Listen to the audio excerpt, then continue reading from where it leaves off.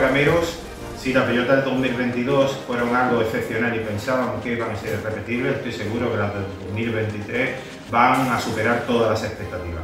Desde Málaga, y para estar a la altura del evento, vamos a llevar esta escenografía de lo que nosotros, para lo que nosotros es el mejor sistema operacional Segunda Guerra Mundial, sistema de última generación, BFS Brazen Charrier, Operación Crusader.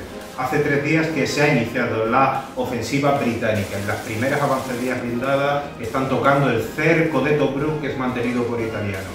Rommel coge el mando de la 15 división, de la 21 división y se coloca en una posición central de los eh, británicos.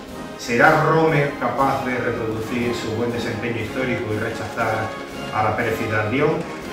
Lo veremos sábado.